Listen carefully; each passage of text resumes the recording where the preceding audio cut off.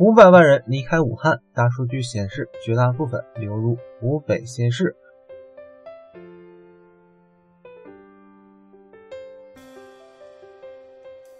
一月二十七日、二十六日晚，湖北省人民政府新闻办公室就新型冠状病毒感染肺炎疫情防控工作召开新闻发布会。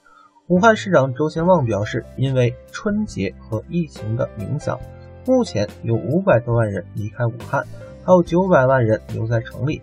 武汉九省通衢，作为人口流入大市，春节期间学生返乡。外地入汉务工人员离汉返乡过年是很普遍的事情。由于今年的新型冠状病毒感染肺炎疫情，这一五百多万人离开武汉的数字引起了网友们的大震动和担忧。这五百多万人都去了哪里呢？大数据给我们一些参考，也为疫情防控提供了一些重点关注的地区提醒。二零二零年一月二十三日十点起。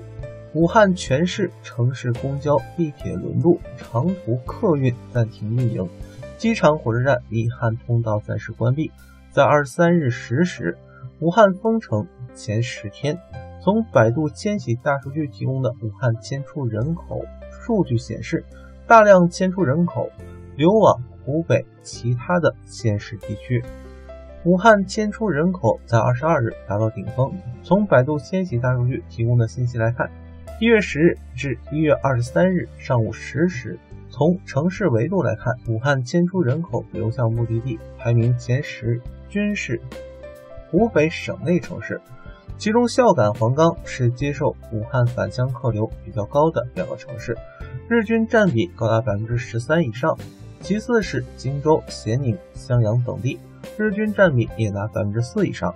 另外，湖北以外的城市方面，从武汉前往信阳。重庆、长沙、岳阳、安庆、北京等人群也比较高。